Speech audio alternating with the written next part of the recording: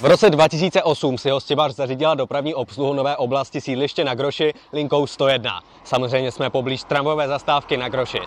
Spolu s tím vznikla autobusová zastávka u průseku. Tehdy ale nebyla vůbec tak hezká jako dnes. Nástupiště ve směru Skalka bylo úplně malinké. Plocha k parkování vedla až zhruba sem, pak byl přechod a pak pár betonových panelů postavených přímo do silnice. Mezitím se tu vystřídala linka a v roce 2011 vzniklo krásné dlouhé pečlivé nástupiště, dokonce s výklenkem jakoby na střížku. Místo té se tu ale objevila jenom stylová lavička Prahy 15 a pak se zase vystřídala linka 296 s dnešní 175.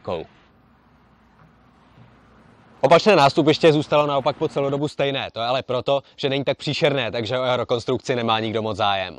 Zajímavé je, že jsme v trochu nicotné oblasti sídliště na Groši. U nejbližší ulice u Průseku sice už jsou domy, ale je to od nich zhruba stejně daleko i k následující zastávce. Jinak je to nějaká administrativní budova, stavební firma, stromy, zeleň, plot. Na západní straně najdeme dokonce velké parkoviště, ze kterého to ale také nikam moc nevede. Takže zastávka pochopitelně dost nevyužívaná, což nevadí, protože na znamení. A díky jednomu novému nástupišti si vysloužila 42%.